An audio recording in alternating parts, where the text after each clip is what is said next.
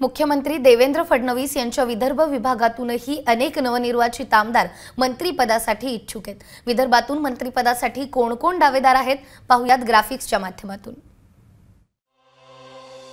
विदर्भातून निवडून आलेल्या उमेदवारांपैकी मंत्रीपदासाठी कोण दावेदार आहेत ते आपण पाहूयात. पडनेराचे अपक्ष आमदार रवी राणा यांनी भाजपला पाठिंबा दिलेला आहे. हेही मंत्रिपदाचे दावेदार असल्याचं बोललं जात आहे त्याचप्रमाणे बच्चू कडू यांचंही नाव मंत्रिपदासाठी चर्चेत आहे. शिवसेनेला त्यांनी पाठिंबा दिलाय. त्याचप्रमाणे भाजपचे आमदार विकास कुंभारे हेही मंत्रिपदाचे दावेदार असतील.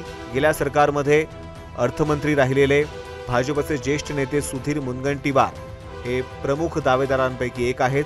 त्याचप्रमाणे प्रमुख दावेदारांपैकी एक असलेले विदर्भाचे भाजपचे नेते गेल्या सरकारमध्ये जे मंत्री होते असे मदन येरावार यांचं नावही प्रमुख दावेदारांपैकी एक आहे विदर्भातील उमेदवारांच्या. तेव्हा मदन येरावार यांचीही मंत्रिपदी वर्णी लागण्याची शक्यता वर्तवण्यात येते आहे.